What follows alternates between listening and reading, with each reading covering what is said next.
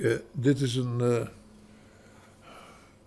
portretje van mijn vader met een sierlijk hoedje op.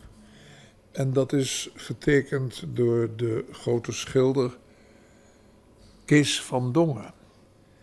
En zij waren kennelijk bevriend. En hij schrijft hieronder, waar is het hier ergens?